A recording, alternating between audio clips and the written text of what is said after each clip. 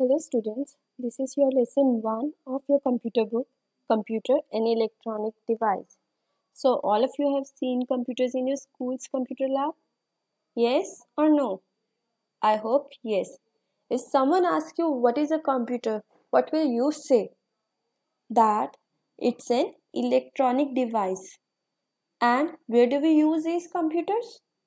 We use this computer in almost everywhere we, can you tell me where do you use these computers?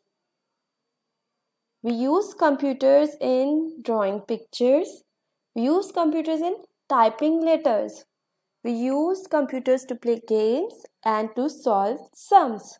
We use computers to watch movies and cartoons and listen to the music. Children, we all say that computer is very fast. It does so many tasks automatically, right?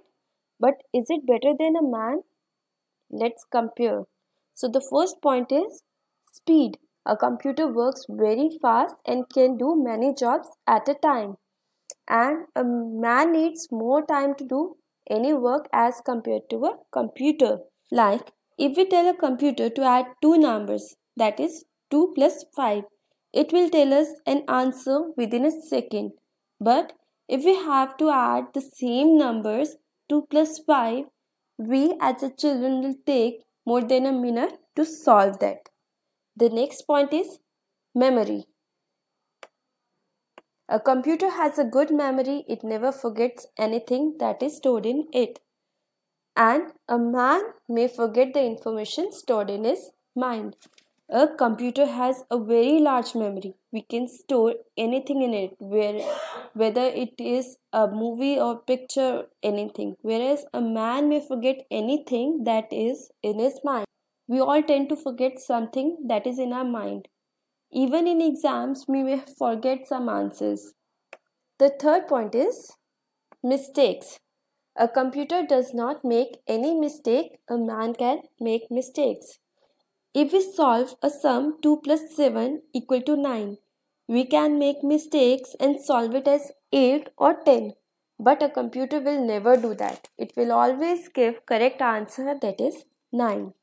The next point is decision. A computer cannot take its own decision. A man can take his own decisions. A computer is dependent upon us for its working. We have to tell it what to do and how to do it. A computer cannot take its own decisions. It will do the task as we say it to do. Like we have to tell the computer to add the numbers, but we can take our own decision whether to add the number or to subtract them. The next point is order. A computer needs order to work. We have to tell the computer to play a movie or a song, but we do not need any order to work. We can do anything as per our wish. The next point is feelings. Your computer doesn't have any feeling. If you hit your monitor or keyboard, it will not react. Whereas if we get hurt, we feel it, we cry or we feel the pain. Children, the next topic is working of a computer. How does a computer work? We all know that computer does not work on its own. We have to tell the computer how to work or what to do. We enter letters, numbers, pictures and instructions into the computer and all of this is called data and different parts of computer do different tasks. A computer works in three basic steps that is input, process, output. Let us take some examples from our daily life. Like your pencil is blunt or broken and you need a sharp pencil. So how do you do it? The input is blunt pencil into the sharpener. The, pen, the sharpener will sharp the pencil. This is called the process and what you finally get a sharp pencil as an output. Another example of it is like you wash clothes, your dirty clothes act as an input in the washing machine. When you wash when your washing machine washes your clothes, it's called process and you get finally clean clothes, it's an output. Let's take an, another example from our human body. Whenever your teacher asks you a question, you hear it with your ears and you see your teacher with your eyes. So your eyes and ears act as an input device. Now your brain stores that question and thinks of an answer. Here your brain acts as an a processing unit. When you have an answer and say it with your mouth, your mouth acts like an output unit.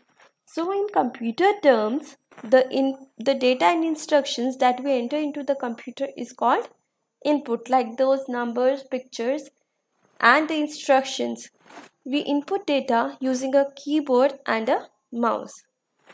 What is the process? Working on that inputted data is called processing.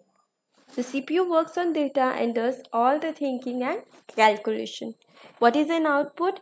The final result is called an output. The CPU will finishes the processing on your data and give you the result on your monitor or printer.